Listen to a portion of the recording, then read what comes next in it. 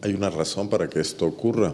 El alcalde de León, Héctor López Santillana, informó que el retraso que sufre la construcción de la presa y el acueducto del Zapotillo, los cuales, como le digo, dotarán de agua al municipio por dos décadas, se deben a desacuerdos entre la empresa ganadora de la licitación del acueducto, la empresa española Abengoa, y el gobierno federal.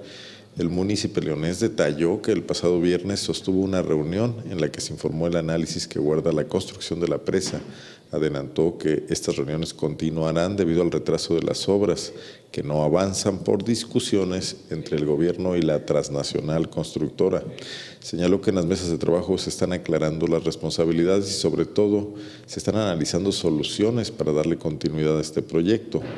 López Santillana también puntualizó que del total de recursos que alcanzan los 8 mil billones de pesos, 8 mil millones de pesos son, el 49% son por parte del FONADIN, el Fondo Nacional de Infraestructura del Gobierno Federal, mientras que 21% lo aporta Panobras. La empresa está pidiendo una cierta cantidad para asegurar que los costos adicionales no impacten el proyecto, de manera que la Conagua sostendrá reuniones con los representantes de Abengoa.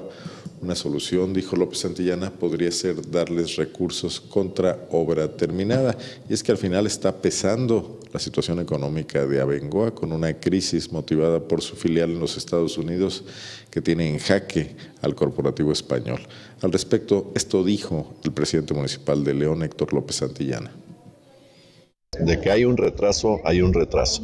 Hay discusiones entre las autoridades federales, porque recordemos que la concesión es una concesión federal, en donde participamos diferentes actores, pero al final del día la autoridad es la comisión, la, CONAGUA, la, CNA, con, eh, la, empresa Abengoa.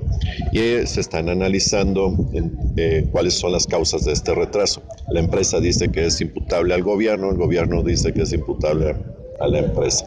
Se están en las mesas de trabajo dilucidando estas responsabilidades y de lo que se está buscando es ya más allá de las culpas, cómo darle continuidad al proyecto.